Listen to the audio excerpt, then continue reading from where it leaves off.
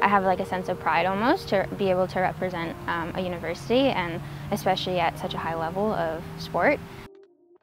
Why UNBC?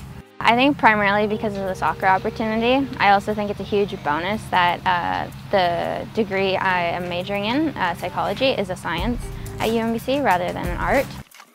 I think Neil is an incredible coach. Um, I'm incredibly grateful to have had this opportunity in the first place and I didn't have a lot of video footage or a good kind of like footing in any club and so it was awesome for someone to just give me this opportunity and for that I'm forever like grateful to Neil.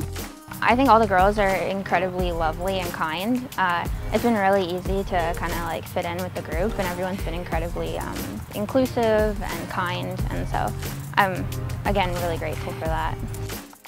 Playing at this level, it's, it's not easy and you know it takes a lot of commitment and hard work and so that's definitely been a learning curve as well.